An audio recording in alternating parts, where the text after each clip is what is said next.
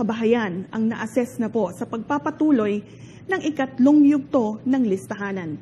Samantala, 97% ng bilang ng ito ay na-encode na sa database ng DSWD. Ang mga na-encode na household assessment forms ay sasailalim sa tinatawag na proxy means test o PMT para sa pagbuo ng paunang listahan ng mga mahihirap na sambahayan.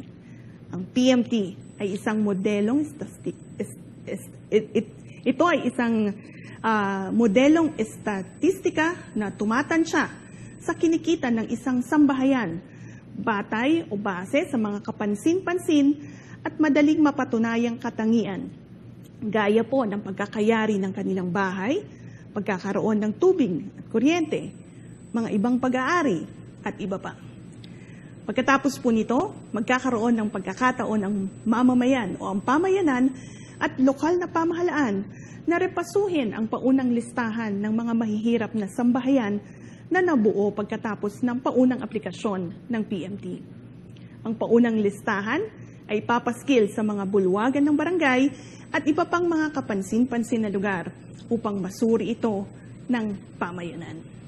Bibigyan ng pagkakataon ang publiko na maghain ng mga hinaing na nauugnay sa listahan tulad ng pagwawasto o pag-update ng impormasyon ng sambahayan, exclusion o hindi pagiging kabilang sa listahan, at paglipat ng tirahan. Maaring ihain ang mga hinaing sa pamamagitan ng community desks at online systems base sa schedule na ilalabas ng mga field offices ng TSWD. Pang-apat po na katanungan, Nagkaroon ng grand send-off para sa mga locally stranded individuals or LSIs at ginanap ito kahapon. Ano po ang tulong ng DSWD na naipahatid sa ating mga kababayan? Ang DSWD ay namahagi po ng mga family food packs, mga sleeping kits, hygiene kits, at pre-departure financial assistance na nagkakahalaga ng 2,000 each sa 154 na bilang ng mga LSIs na pabalik po sa kanilang mga probinsya sa rehiyong 8, 9, Gs, 11 at 12. Matapos mabigyan ng tulong, ang mga LSIs ay uh, dinala po sa Pier 13 kung saan uh, libre silang uh, inihatid sa kanilang mga rehiyon sa tulong naman po ng Philippine Coast Guard. Panglipambong katanungan, bilang parte ng Interagency Task Force for the Management of Emerging Infectious Diseases at ng Coordinated Operations to Defeat Epidemic, kumusta naman po ang ginagawang pamamahagi ng face mask sa ating mga kababayan? Malugod po nating inabalita na tuloy-tuloy ang ating isinasagawang pamamahagi ng face mask sa ating mga kababayang uh, katuwang po ang iba't ibang ahensya ng uh, uh, Interagency Task Force for the Management of Emerging Infectious Diseases at ng Coordinated Operations to Defeat Epidemic. Ito po ay parte ng uh, libreng face mask para sa bayan na kampanya po ng ating administrasyon sa pangunguna po ni Pangulong Rodrigo Roa Duterte upang masiguro ang kaligtasan ng mga mamamayan sa panahon ng pandemya. Pang-anim po na katanungan, ano ang masasabi ng DSWD sa inanunsyo na kabilang ang mga miyembro ng 4Ps sa prioridad na mabigyan ng COVID-19 vaccine kapag naging available na ito? Ang DSWD po ay uh, malugod na tinatanggap ang anunsyo ng uh, Malacanang at itong direktiba ng ating mahal na Pangulo na ang mga beneficiaries ng 4Ps ay kabilang sa prioridad na makakuha ng bakuna laban sa COVID-19 sa sandaling magkaroon na po nito sa ating bansa. Ito ay isang magandang balita, lalo na at ang mga beneficiaries ng 4Ps ay kabilang sa mga pinakamahirap na sektor ng ating lipunan. Gayunpaman, nais nating linawin na ang mga patakaran hinggil dito ay ating pa pong isa sa ayos.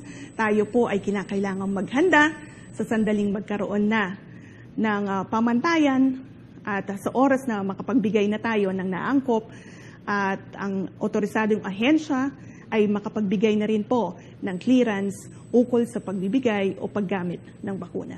Sa ngayon, ang prioridad po ng DSWD ay mapangalagaan at masiguro ang kaligtasan ng ating mga benepisyaryo na kabilang sa mahihirap at vulnerableng sektor.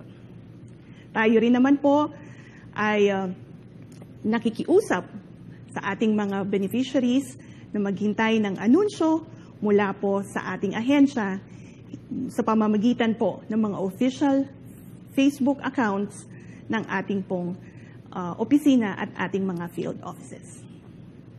Nais din po nating idagdag na masaya po ang DSWD na malaman na ayon po sa ating survey ay nahatiran ng kinakailangang tulong ang ating mga kababayan na pinakaapektado ng krisis bunsod nga po ng COVID-19.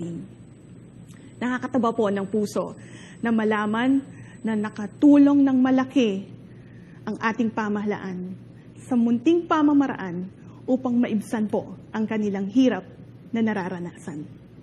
Muli, tayo ay nagpapasalamat sa pagtitiwala at suporta ng ating mga kababayan sa kabila ng banta ng pandemya at iba pang mga hamon na ating kinakaharap.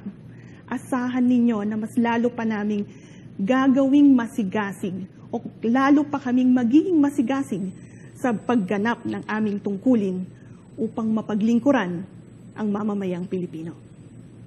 Bago pa tayo magtapos, gusto lamang nating ihayag ang ating lubos na suporta para sa mga kawani ng, uh, o mga field workers na nasugatan naman po ng uh, uh, insidente sa Bungaw, Tawi-Tawi.